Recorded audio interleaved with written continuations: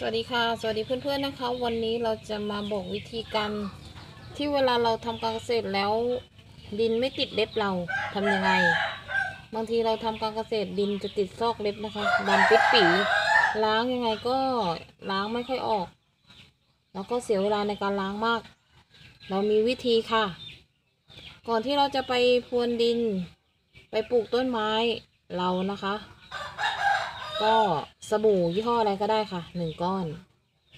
วิธีการทำนะคะ ก็เอาเล็บขูดขูดนี้นะคะ ขูดสบู่ขูดให้ติดทุกเล็บ แบบนี้นะคะ ให้สบู่เข้าไปในซอกเล็บ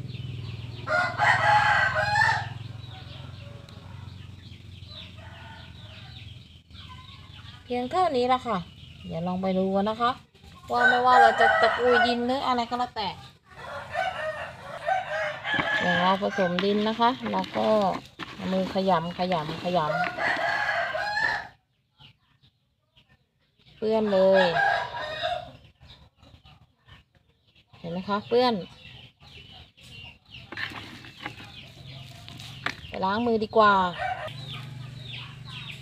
พอเสร็จจากการปลูกต้นไม้เราก็มาล้างมือตามปกตินะคะ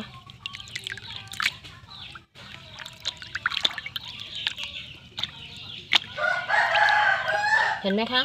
เล็บเราสะอาดเร็วมาก ส่วนที่สบู่ติดเล็บเราก็เราก็ออก แค่นี้ค่ะ มือเราก็ สะอาด ไม่ต้องเสียเวลาในการขัดนะคะ ก็ยังไงเพื่อนๆลองนำไปใช้ดูนะคะ เคล็ดลับดี